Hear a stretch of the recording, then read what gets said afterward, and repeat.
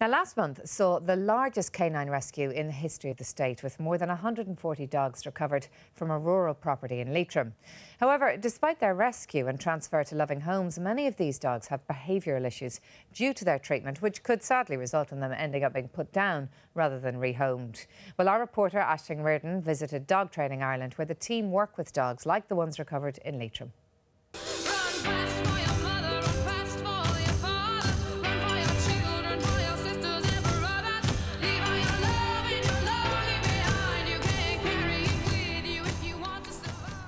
Meet Dexter and his owner Nicole. They're spending this nice sunny morning out and about, but unfortunately it's in a restricted way as Dexter has some issues. Well, we got him um, actually exactly one year ago. Uh, I got him from a friend of mine who runs a Doberman rescue in Cork and she asked me to foster him just for a few weeks and then I fell in love with him. um, when I got him, he didn't have the, the aggression problem. He was actually running with other dogs at the beach and, and he was fine. But um, a few weeks after that, um, we had our first incident with the dog and he just grabbed a small dog and sh shook it. So that was really horrible for me. Yeah, and then I muscled him and didn't let him run with other dogs, and um, still he showed more and more aggression. Nicole brought Dexter to Dog Training Ireland in Dublin, and the team there is working with him. Good, that's it. Dexter has um, he he's, has issues with other dogs. Basically, he's he's quite reactive to other dogs on the lead and off the lead. He would lunge and bark and pull to, to get to other dogs and chase them if he was off the lead. Um, and from him, it's it's coming from a, a little bit of fearfulness, um, a bit of frustration as well, and um, a, a bit of kind of predatory behaviour on his part as well. So there's a lot going on with him.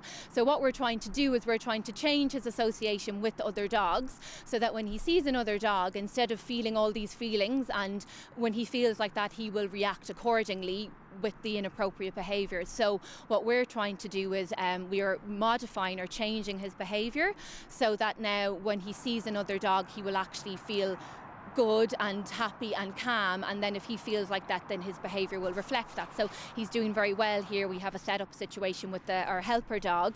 Um, so we are what we were doing we're actually pairing the other dog which is something he currently has a negative association with with something he really really likes and has a good association with and in this case we're using some really tasty food.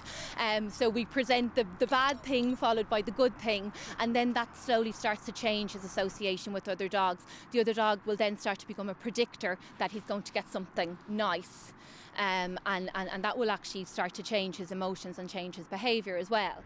Now, we're not too sure if Dexter is two or three years of age because he was a stray before going to the pound. But as you can see here, he's a lovely dog and he gets on well with people. It's just he reacts badly to other dogs. And here are some of the possible reasons why, as we don't know Dexter's history. Well, under socialisation as a puppy is a huge, uh, a huge factor. Um, so, say you might have a pup that was you know, raised in a shed, um, didn't have any interaction with any humans or any other dogs or any environmental experiences, um, you know, when they're young. And, you know, puppies, their brains are like sponges. So dogs have a, a critical time for socialising, which is between sort of three to kind of 16, 18 weeks. So they need to have lots of different experiences then um, to make them a well-rounded dog. Um, you know, other things can come into play like, you know, temperament, you know, dogs that are genetically you know that temperamentally unsound you know that that can play a part as well. Um, so there's a whole lot of things you know uh, at work there. And then if a dog has a really bad experience later on in life that can actually you know cause them to be fearful as well. So there's a, a lot of things going on. And the behaviour clinic sees many dogs that have been abandoned yeah, we get dogs from lots of different rescue centres. Um, dogs Trust is only down the road. They're our closest rescue centre, um, and they do amazing work. They take dogs from all of the pounds around the country, um, and they will have taken some of the puppy farmed dogs that we've seen recently, um, and they will give them the care they need, and then they will find families for those dogs, and then those families come to us for training. Um, and daycare and grooming and all the different things that are needed for a pet dog because sadly we are the puppy farm capital of Europe, which is not a nice label for our country. Um, we produce lots of puppies that are sick and unhealthy, mentally unhealthy, physically unhealthy, and um, it's really not good enough.